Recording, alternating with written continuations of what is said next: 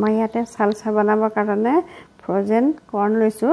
তোমালোকৰ ওচৰত যদি নাথাকে ফ্ৰ'জেনটো তেতিয়াহ'লে তোমালোকে বজাৰৰ পৰা আনি বইল কৰি ল'বা অকণমান। আৰু এতিয়া বাকী কি কি লাগিব মই দেখাইছোঁ। এয়া জলকীয়া দিলোঁ ধনিয়া পাত দিলোঁ এতিয়া মই এটা সৰু চাইজৰ পিঁয়াজ কাটি থৈছোঁ পিঁয়াজ দিছোঁ। টমেট' দিম এতিয়া। এটা টমেট' কাটি থৈছোঁ টমেট' দিম।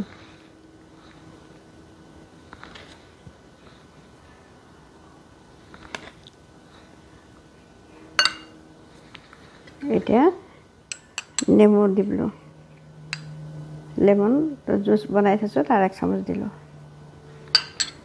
এতিয়া নিমখ দিম।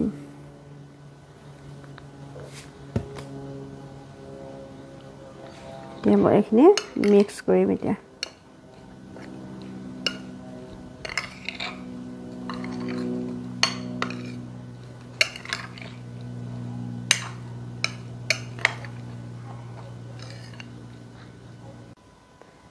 এইটো মোৰ টমেট' আৰু কৰ্ণ দি চালচা বনালোঁ।